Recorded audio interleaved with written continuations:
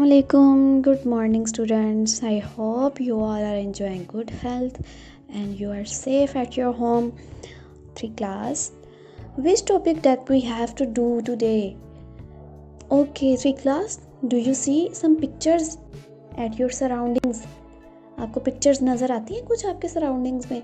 Okay okay, आज मैं आपको कुछ पिक्चर्स शो करूँगी और उस पिक्चर्स के बारे में हमने डिटेल राइट करनी है। पिक्चर्स बनी हुई हैं कुछ।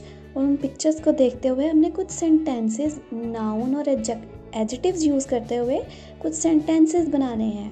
तो in short will do today picture description okay let's come towards the worksheet of picture description. There is a zoo. You can see the zoo in this picture. Okay come towards the next worksheet that i have solved for you. So class if you come to the directions directions study the picture carefully and describe it in five sentences using the verbs nouns and an adjective. There is a word bank farmhouse visitors animal cages bridge pond.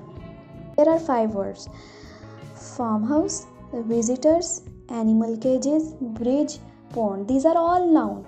Okay, these are all noun. We can use it in some sentences. We have to use them and uh, we have to make five sentences using verb, nouns and adjective. Okay, first first word क्या है farmhouse.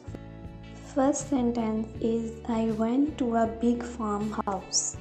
मैं एक बड़े farm house में गया went जो है, इसमें ये वर्ब है बिग इसमें एडजेक्टिव है वेंट जो है वो वर्ब है। सेकेंड सेंटेंस पे आ जाए there were some visitors visitors is a noun were जो है वो फॉर्म ऑफ़ वर्ब में आ जाएगा okay I saw beautiful animals cages animals cages जो है वो नाउन है, और एनिमल केजेस को कौन सा वर्ड डिस्क्राइब कर रहा है? ब्यूटीफुल और सा जो है वो सेकेंड फॉर्म है सी की. एस ए डब्ल्यू सा तो ये फॉर्म ऑफ़ वर्क हो जाएगा ओके फोर्थ सेंटेंस पे आ जाएँ Ali crossed the bridge crossed crossed जो होगा, वो फॉर्म ऑफ़ वर्ब है और bridge is a noun Ali ने ब्रिज क्रॉस किया। नंबर फाइव हमारे वर्ड बैंक में अगर देखें तो फिफ्थ वर्ड हमारे पास है पोंड पोंड को हमने सेंटेंस में यूज़ करना है, किस तरह करेंगे?